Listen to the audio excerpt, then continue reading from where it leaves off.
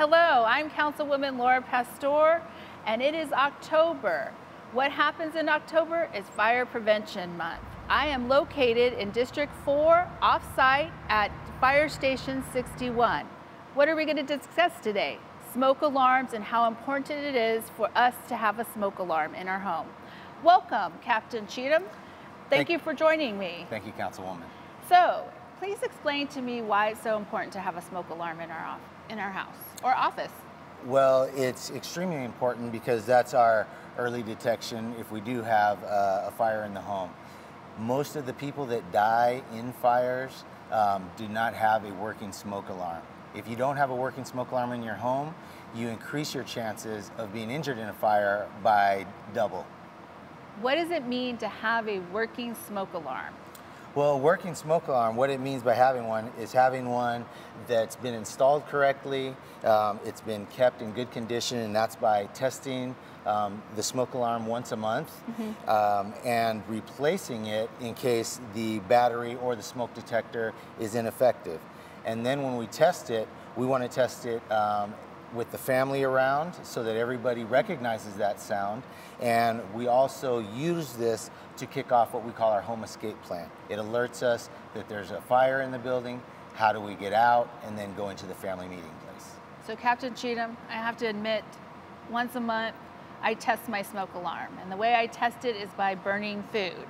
and so I know that my alarm is very active only because there's smoke going up and I am like, oh no, I'm burning something. But could you show me exactly what you mean by testing? I will.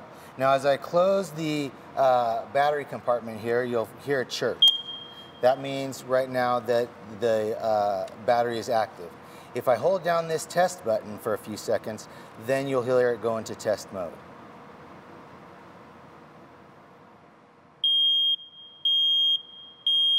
And we'll hear a series of chirps.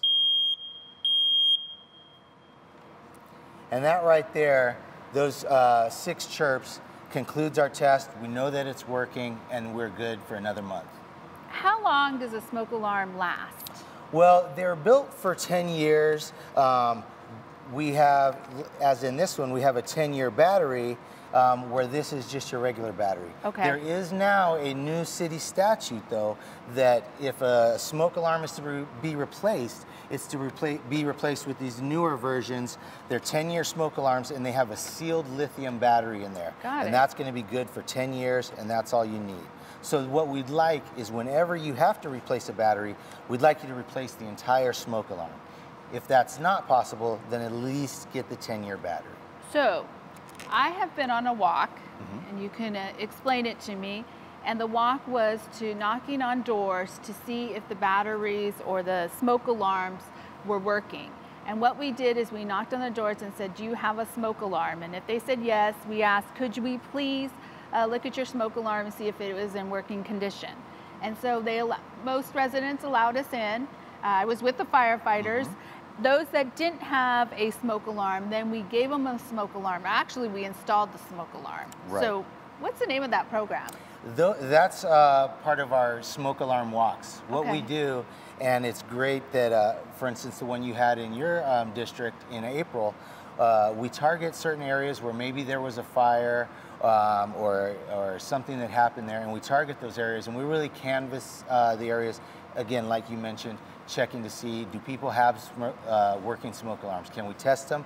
We actually replace them at those times through those programs. So uh, walks like those that you put on really help us identify um, those areas of need, and we can get those people that may not come to us for a smoke alarm or be able to get one themselves. So if I'm an, if I can afford to get a smoke alarm, where do I go?